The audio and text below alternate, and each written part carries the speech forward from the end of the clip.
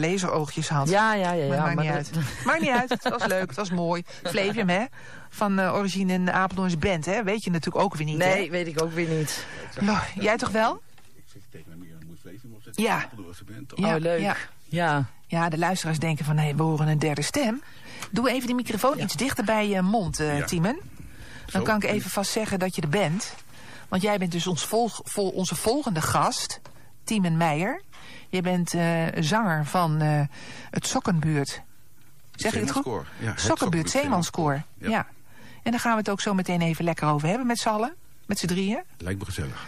Maar we hebben, je hebt ook muziek meegenomen, heb ik begrepen, van Alexander. En staat dat al klaar, Alexander? Ah, gaan we doen. En hoe heet dat nummer? Vrij als de wind. Vrij als de wind. Ja, Oké, gaan we nu naar luisteren. Lijkt me Heel leuk. goed. Doe maar.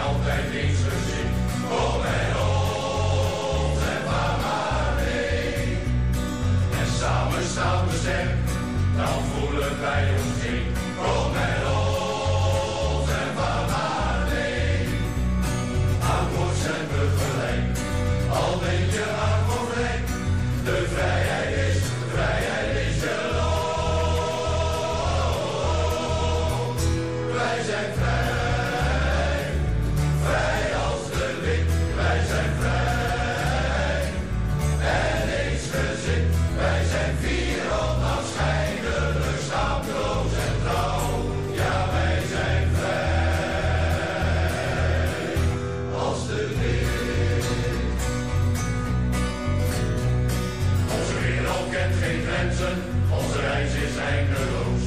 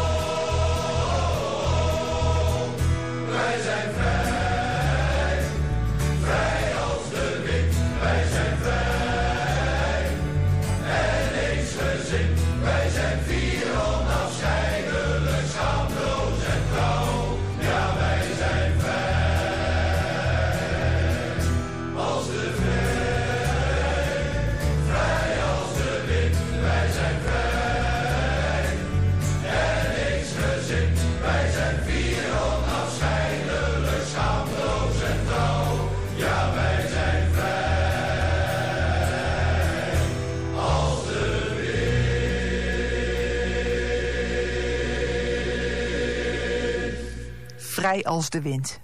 Fijn nummer, zeg. Ja, mooi. Timen, wil je goed door de microfoon praten? Want anders kan niemand je horen. Dat vind ik jammer. Ja. Nou, mooi. Ja, geweldig. Dit is dus een van de mooie nummers die jullie spelen. Een of eh, spelen niet. Er wordt gespeeld op muziek. ja. Ja. Echt piratennummer, hè? lekker op uitleven op zo'n eh, op zo'n eh, nummer, zeg maar. Hoe lang ben jij zelf al lid van het Zeemanskoor? Ik ben vanaf het begin dit. Vanaf Echt de, waar? Vanaf de eerste dag, ja. En je vertelde me net, want je hebt ons net een prachtig boek gegeven. Jullie bestaan dus dit jaar al 21 jaar.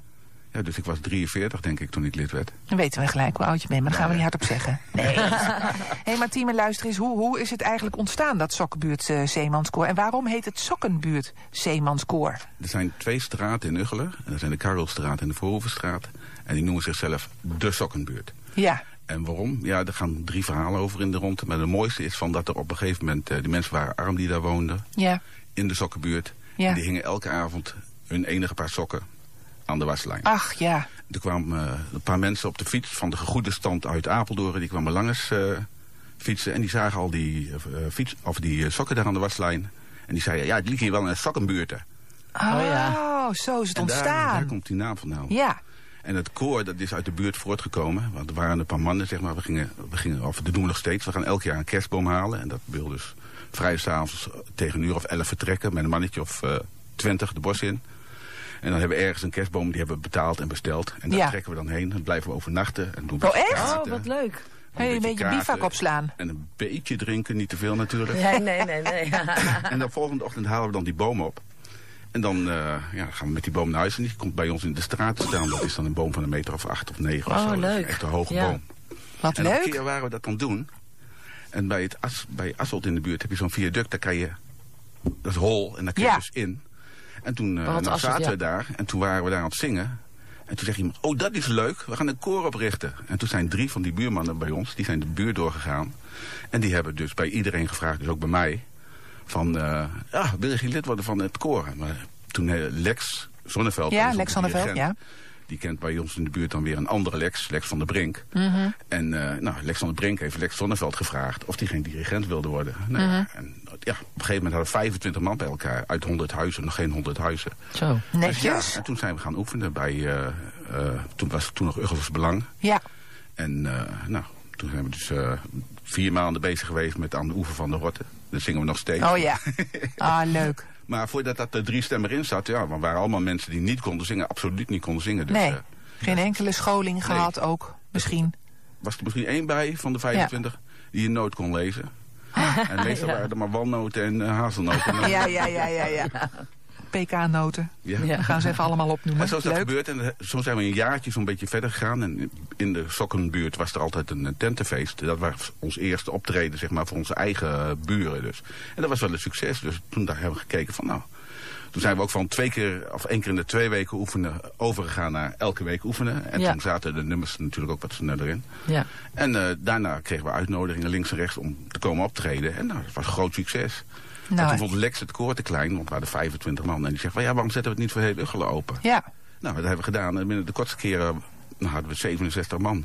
Toen hebben we wachtlijsten in moeten voeren Ja. om, eh, Is toch wat. om dat Ja. een beetje in de hand te houden, zeg maar. Dus Maar ja. jullie, eh, fantastisch. Mooi. Ja. Geweldig. Ja, ik zie ook een heleboel hier staan op die eh, foto. Op ja, de dat boot. op de Batavia. We zijn ja. in de Batavia Prachtig. Ja. In, waar ligt dat ook alweer? In Lelystad? Lelystad Ja. ligt het, Ja.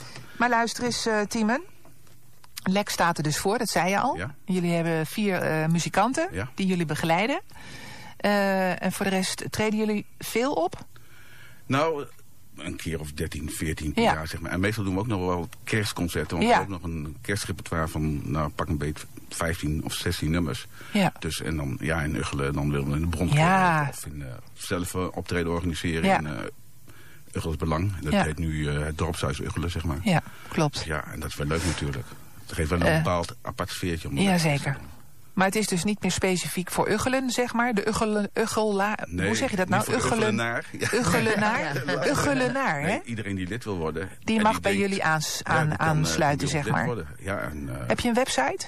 Ja, ja, ja. Www.sokkenbuurtzeemanskoor.nl www.sokkenbuurtzeemanskoor.nl Er staat het, eh, alles op ja, te er vinden. staat alles op. En je kunt eh, ook mailen naar info.sokkenbuurtzeemanskoor.nl Ja. Dus als er mensen zijn die lid willen worden, graag. We Ja. zijn er wel op zoek naar... Ja, eh, ja. beetje, beetje leden. verjonging ook, zeg maar. ja, Ja, altijd goed, hè?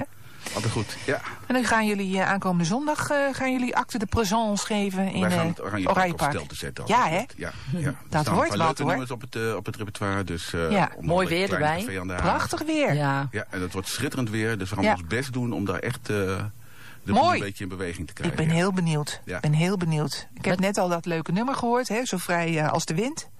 Nou, wind is er niet zondag. Dus eh, nee, dat wordt fantastisch Maar weer. Het Mooi. staat waarschijnlijk wel op het programma. Dus, eh, Nou ja, ik vind het leuk hoor. en dan, Hij en dan, mag... waaien, dan waaien wij het Oranjepark wel door. Zo is dat. En met hoeveel mensen komen jullie dan? Ik denk dat we met een mannetje of 55 zijn. Oh, En dat is Mooi, exclusief hè? de muziek, want daar staan ook nog vier man, Ja. zeg maar. En Dat wordt lekker vlot. Ja. Lekker vol. Ja. Volle bak. En de dirigenten die dan eh, op de piano en op Ja. de accordeon speelt, zeg maar. Prachtig. Ja. Ik ben heel benieuwd. Ja, Eh, zondag aanstaande is dat in het Oranjepark in de muziektent. En om of erbij, of ernaast, of ervoor. ik weet niet precies. Jullie gaan ervoor staan, hè? Ja. Ja. dan heb je wat meer contact met het publiek. Ja, dat zeggen heel veel muzikanten die daar komen. En dat is natuurlijk ook zo. En vooral als het zo heet is, gaan ze allemaal wat meer onder die bomen zitten. Ja. Leuk. Dus we gaan naar het publiek toe wat dat betreft. Helemaal fijn. Ja. Hartstikke leuk. Hoe laat is het? Zondag? Eh, om twee uur zingen wij. Om twee uur. Van twee tot drie. Ja. Oranjepark. In het Oranjepark, ja zeker. Ja, gratis toegang. allemaal, eh, Ja, gezellig. Ja, Wordt volle bak, Tiemen. moet ook. Eh, je hebt nog een nummer meegenomen. ja. Gaan we dat zondag ook horen? Ja, eh, dit staat niet op het programma. Nee. Dat is de vondeling van Ameland. Dat hebben we een keer. eh, dit is dan de versie op de CD, zeg maar. De- maar de- op YouTube staat een versie, want we hebben ook een YouTube-kanaal. Ja. En als je zoekt op het Sokkenbuurt Zeemanskoor, dan kom je dat wel tegen. Daar staat een versie, daar zingen we dan met, met, nou, met 60 man, zeg maar, op het strand van Ameland. Met onder begeleiding van de accordeon. Heerlijk. Het is eh, wel 20.000 keer bekeken en Ah. veel complimenten over gehad. Ja. Dus gewoon hartstikke leuk. Nou, maar wat we net ook hoorden, klonk gewoon als een klok. Ja, Wil jij nog iets zeggen? ja Want ik we wil nog iets zeggen. naar Want het we hebben echt eh, een Ik heel, heel mooi boekje gekregen. Ja. Daar kunnen, kunnen mensen jullie ook mee steunen. Ik mag geen prijzen noemen. Waar kunnen zij dit boekje bestellen? Nou, ook een mailtje naar info.sokkenbuurt.nl. En als je buiten Apeldoorn woont, dan stuur ik dat wel op. Want, Ja. eh, Ja. Het is echt een mooi, eh, Ja. mooi boek. Ja. Zullen we dan eh, nu maar even naar het nummer gaan luisteren, Ja, maar. Want anders is er te weinig tijd. Maar ik moet ook... Ja, ik, Alexander is zo streng, hè? Maar nee, we hebben natuurlijk een heel vast programma. En eh Hilversum komt er zo meteen ineens bam zo met dat nieuws en alles eh, doorheen. Dus dat kunnen we niet beïnvloeden. Wou je nog even iets Mag- zeggen? Iets ja, kort? ik wil nog één ding vertellen. Want volgend jaar, 18 februari, dan treden we op in Orpheus. En we hebben een projectje samen met, eh, met de Heemgaard en met de... Hoe heet dat? Velus? eh, Velus College? Velus College. Die hebben ook allebei een koor. En daar gaan we samen eh, geweldig aan. Ah, Oh. heel benieuwd. Dus eh, Ja. dat is ook wel Nou, even iets om in de maar dat staat ook op jullie website. Dat staat nog niet op de Oh, website. nou, het komt er zeer Dat is binnenkort in op. de beginfase. Ja. Ja, dat is nog wel heel nou, nieuw. Ja. ga je het gewoon zondag ook nog even aankondigen. Komt Zo helemaal goed. We gaan dan nu luisteren, Ja. als voorproefje voor komende zondag in de Oranjepark, naar de Vondeling van Ameland. Team en hartelijk dank voor dit gesprek. Heel veel succes. En ik wil ook alle luisteraars bedanken voor het luisteren naar dit eh, tweede uur van eh, de matinee van Ja, het donderdag. was weer gezellig. Lorien, En heel hartelijk bedankt. Ja, Ja. het was gezellig. Ja. Op naar volgende week zou ik zeggen. Ja. Alexander, heel erg bedankt. De redactie bedankt. En eh, we gaan nu luisteren. En jij Tiemen. ook bedankt natuurlijk. Ja, dankjewel. Graag gedaan hoor. Tot eh, zondag zou ik zeggen. Tot zondag, ja. Oké. Dag luisteraars, tot volgende week. Dag.